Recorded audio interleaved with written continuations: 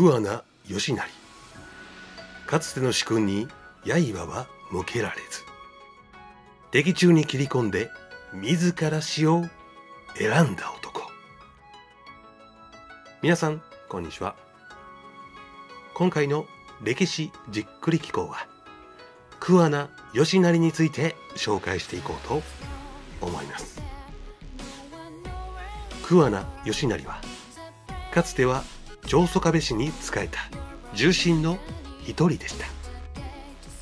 長宗我部氏の全盛期を支えた彼ですが時代の流れとともにやがて主家とは切り離されてしまいます。新たな主に仕えた彼が戦場で相まみえることとなったのは他でもないかつての主でした。彼は一体どんな道を選んだのでしょうか。桑名義成の生涯をじっくりとご紹介したいと思います。長宗我部元親に仕え家老となった家柄。桑名氏は伊勢平氏の流れを組むと言われており名前の通り伊勢桑名郡の土豪でした。応仁年間1467年から1469年に桑名丹後守が土佐へと移りそこで長宗我部氏に仕えるようになったようです。そして元親の土佐統一戦に一族で貢献し天正3年1575年元親は土佐統一を果たしたのでした。義成の叔父である桑名重貞は調略で功績を挙げたようです。こうした功績により桑名氏は久武氏や中内氏とともに長宗我部三家老の一員に数えられるようになりました。天文20年1551年義成は桑名トークラウドの息子として誕生します。すでに叔父重貞や父は長宗我部元親の家老を務めており義成は成長すると元親に仕え叔父父いとこの近光とともに元親の四国統一戦に臨むこととなりました。元親に従い九州征伐へ参加する。天正4年1576年元親の弟吉良近貞が亡くなった後義成と父は中村城代高知県四万十市となったようです。この頃の元親は織田信長の征伐の対象となり絶体絶命のピンチを迎えますがやがて本能寺の変が起きて信長が倒れたことでピンチを脱出します。その後は豊臣秀吉に対抗しその反対勢力となる柴田勝家や徳川家康と結びました。その間に天正13年1585年には四国をほぼ制圧した元親でしたが秀吉は本格的に四国征伐を開始し元親は数において圧倒的な豊臣勢の前に降伏し土佐一国のみを安堵されて豊臣家臣の列に入ったのです。そして秀吉の命令により長宗我部氏は天正14年1586年に九州征伐に参加します。ここに義成も従軍し島津勢との初戦となる辺木川の戦いに臨みました。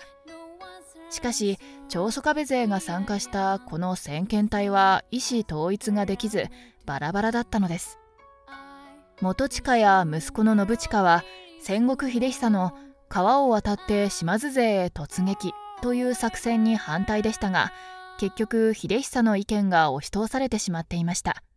そして戦況はというと戦国秀久の突出をまんまと島津方に狙われ軍は壊滅状態に陥ってしまったのでした。主君元親を守り土佐への撤退を成功させる。乱戦の中なんと元親の跡継ぎである信親が討ち死にしてしまいます。義成のいとこ近光も命を落としました。休日に優れ師範を務めるほどの腕前だった彼でしたが押し寄せる島津勢の猛攻の前にはなすすべもなかったようです。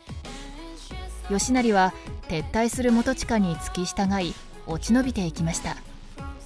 途中臼杵付近で落ち武者狩りに遭いますがここで吉成は相手を蹴散らし主君を守り抜いたのです。なんとか元親は土佐に帰り着くことができ吉成は主君から高い評価を受けることになりました。後に元親が世を去る際彼は息子の森親に吉成を先手とするようにとの遺言を残しています。しかし長宗我部氏は困った問題に直面していました。元親や家臣たちの期待を一身に受けていた信親が討ち死にしてしまったため新たな後継者を立てなくてはならなくなったのです。暗君化する元親に仕え続ける。家臣たちは誰が次の後継者にふさわしいかで揉めました。元親が後継者にと考え始めた森親はまだ12歳だったため一門の吉良近実などは元親の次男香川親和を強く推薦し元親に対して臆することなく徴用の序を解き還元したのです。しかし元親は信親の死後判断力を失いかつてのような名君とは言い難い人物に変貌していました。その上森親を推す久武親直の残言を信じついに吉良近実を粛清してしまったのです。この時吉成は使者として近実の切腹に立ち会いました。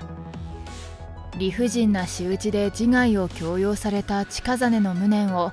どんな思いで彼は見ていたのでしょうか。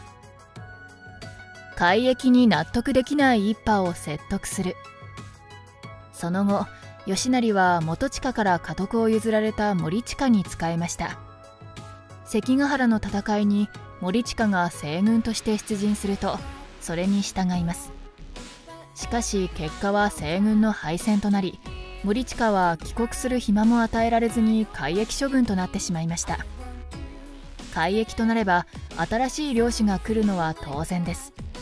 ところが土佐に残っていた長宗我部の家臣たちの中には改易を受け入れられない者たちも多くいました。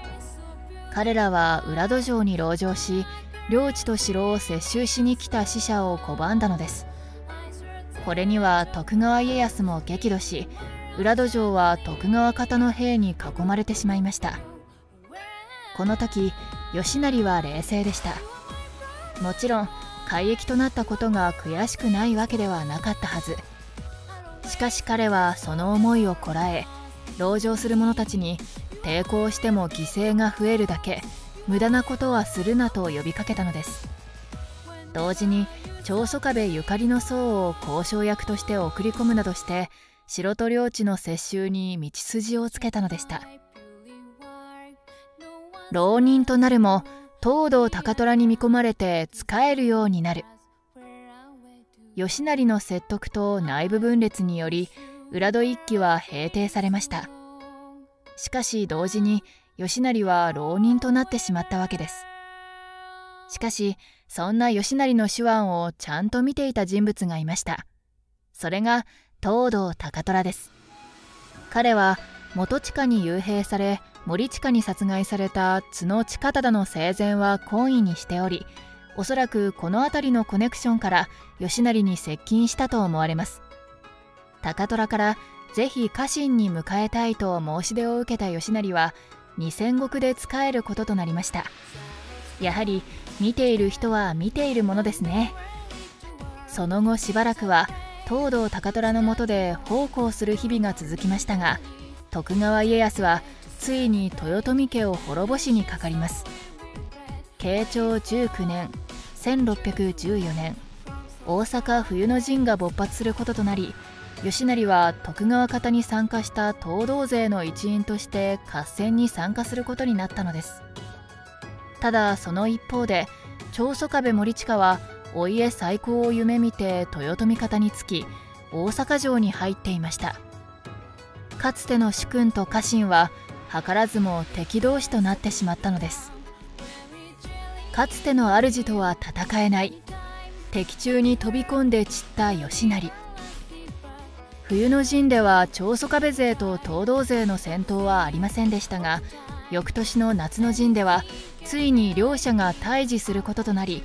八尾の戦いで両軍は激突しました。当初戦は東道勢が長宗我部の戦法を壊滅させるなど有利な戦況となりますがここで森近は兵を堤防に伏せさせ突っ込んでくる東道勢を待ち受けました。そして十分に引きつけたところで一気に突撃させたのです。東道勢は総崩れとなりたちまち敗走を始めました。多くの武将が討ち取られ東堂一族にも犠牲者が出たほどの敗北だったのです。実は総崩れとなった軍勢の中に吉成はいました。かつての主君と戦をすることが決まった時彼はすでにこうすることを決断していたようです。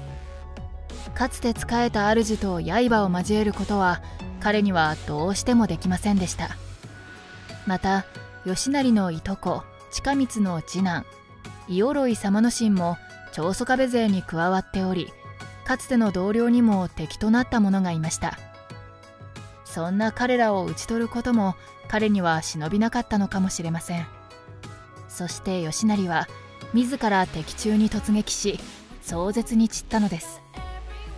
一説には敵中に飛び込んで自害したとも伝わっています。まとめ。1桑名氏は長宗我部三家老の一員だった。2長宗我部元親に従い越木川の戦いに参加するが大敗を期してしまった。3落ち武者狩りから元親を守りきって帰国し大きな信頼を得た。4元親がかつての光を失う中仕え続けた。5長宗我部森親が関ヶ原の戦いで西軍となり敗れると改易処分に納得いかない一派が抵抗するがそれを冷静に説得した。6浪人となるが東堂高虎に見込まれて仕えるようになった。7大阪の陣では旧主長宗我部森親と対戦することになるが自ら敵中に飛び込み討ち死にした。長宗我部氏の重臣であり関ヶ原の戦いの後の改易という厳しい処分を目の当たりにしていた義成。その後も常に森近を気遣い援助までしていたという話もありますから大阪の陣で対決することになった時は悩みに悩んだことでしょう。結果森近を撃つことはできずに自分の命を投げ出すことを選んだ義成はやはり最後まで長宗我部の家臣だったのではないでしょうか。最後まで動画をご覧いただきありがとうございます。今回の動画はいかがでしたでしょうか。こちらの軍配の上のボタンからチャンネル登録できますのでもしよかったら登録よろしくお願いします。あとこちらの動画もよかったら見てみてください。どうぞよろしく。お願いいたします。